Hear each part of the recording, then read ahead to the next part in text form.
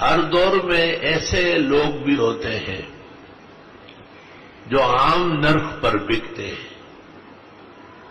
और उनकी कोई कदर मंजलत नहीं होती, वो सिर्फ़ शोशा और दिखाने और चहल पहल से काम लेते हैं। और कुछ लोग ऐसे होते हैं जो वाकता इलम के मुजस्मे होते हैं और ये सातों आसमान एक तरफ़ और वो दूसरी तरफ़ तो वो इलम में बारी निकलेंगे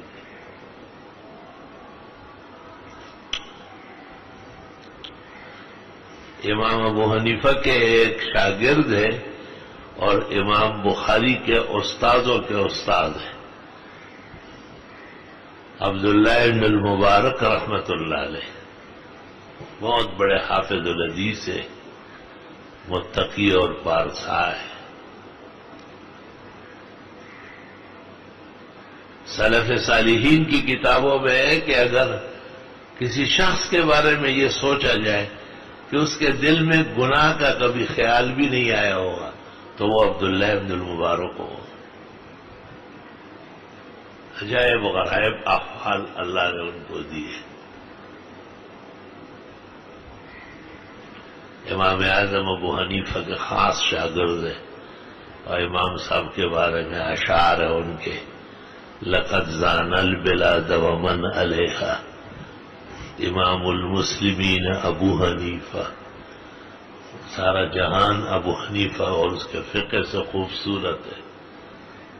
और लंबे चौड़े कसायद अपने उस्ताद के बारे में गाए हैं।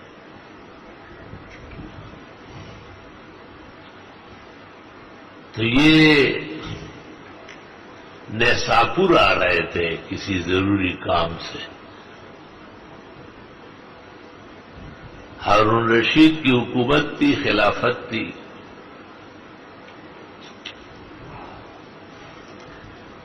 तो उनकी आमद पर तमाम शहर बाहर उमड़ आया सब लोग दौड़ रहे हैं कि अब्दुल्ला इब्न मुबारक का इस्तकबाल भी हो जाए, इकराम भी हो जाए।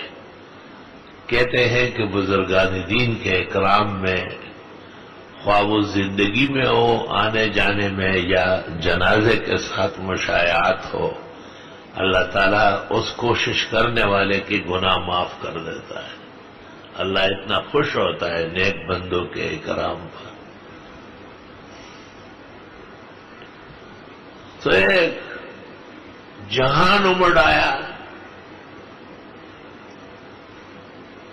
हारून रशीद की बीवी जबैदा, जिनके नाम पर नहर जबैदा खुदवाई गई। वो भी अपने महल की छत पर चढ़ी और देखने लगी।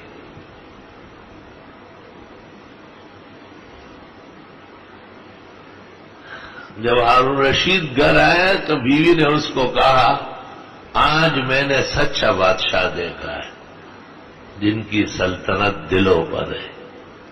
आप तो फौज और खजाने के ज़रिए हुकूमत कर रहे हैं। खान साहब के हाथे ही खजाने ही खत्म हो गए। शोर मचा हुआ है मुल्क। बेतदबीर काम जब भी होगा, उसके लिए तकलीफें बढ़ेगी। आदमी कहे कुछ और करे कुछ तो इस तरह काम नहीं चले।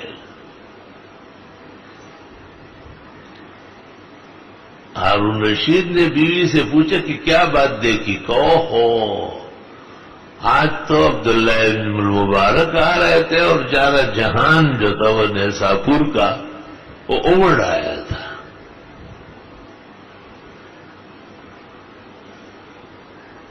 बादशाह ने कहा आपने कोई छतरी देखी? उसने कहा एक जगह छतरी नुमा, एक झूंपड़ी सी थी। कहा, उसमें मैं भी बमा वजीरों के इस्तकबाल के लिए खड़ा था। और हारून रशीद ने कहा, कोई शक नहीं कि यही लोग असली दिलों के बादशाह हैं। बादशाह भी इनकी इज़्ज़त करे तो बादशाहत को उम्र मिल जाए और इनकी इज़्ज़त न करे तो वो जल फना हो जाए, हाथ पैर कट जाए उसके।